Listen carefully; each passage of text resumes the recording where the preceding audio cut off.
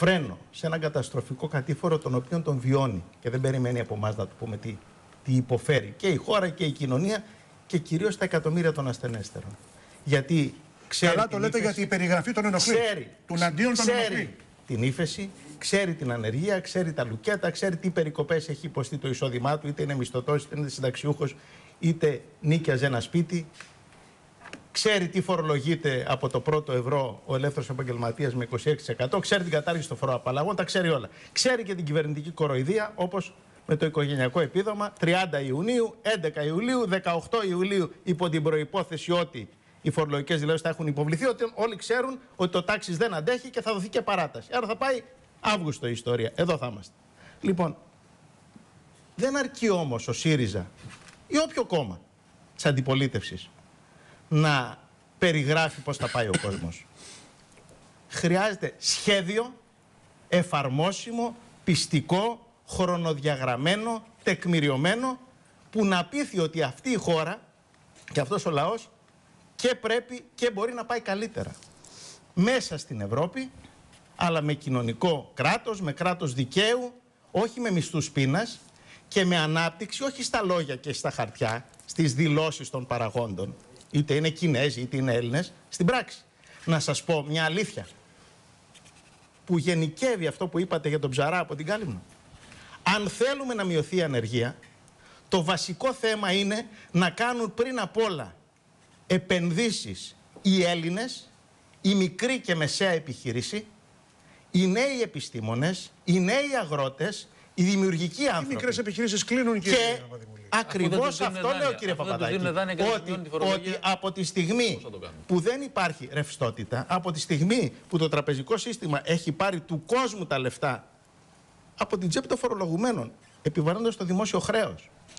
Αλλά δεν υπάρχουν δάνεια, δεν μπορεί να υπάρξει ανάπτυξη. Όσοι Κινέζοι και Καταριανοί και να έρθουν, γιατί έχουν έρθει κι άλλοι παλιότερα που τάξανε διάφορα και δεν τα είδαμε στην πράξη. Κόσκο όμως είναι κάτι συγκεκριμένο. ε, τώρα να μιλήσουμε, λέω, πιο γενικά και πιο απολογιστικά, χωρίς διακοπές.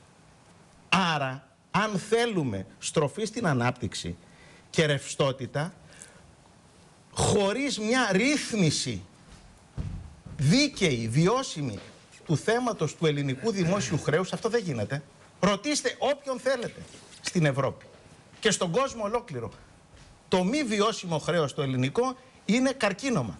Και είναι τώρα Το αναγνωρίζω. 50% του ΕΠ πάνω από ό,τι πριν μπούμε στο μνημόνιο. Δηλαδή έχουμε ένα μνημόνιο που προκάλεσε όλον αυτό τον κοινωνικό πόνο, τη φτώχεια, την εξαθλίωση, την ύφεση, τα λουκέτα, τις ανισότητες, γιατί δεν μοιράστηκαν δικαίοι θυσίες, και το χρέος στο όνομα του οποίου επιβλήθηκε έχει πάει στο Θεό. Αυτό λοιπόν είναι κλειδί. Και φυσικά ένα σχέδιο παραγωγικής και κοινωνικής ανασυγκρότησης της οικονομίας και της κοινωνίας που να βάλει την Ελλάδα να δουλέψει με δικαιοσύνη και στο αποτέλεσμα και στην κατανομή των θυσιών. Εδώ είναι το κλειδί για το να γίνει ο ΣΥΡΙΖΑ πλειοψηφική δύναμη στην ελληνική κοινωνία, ανοιχτό σε συμμαχίες, εναλλακτική πρόταση, εφαρμόσιμη, υλοποιήσιμη σε αυτή την κυβέρνηση. Και Λεφτά.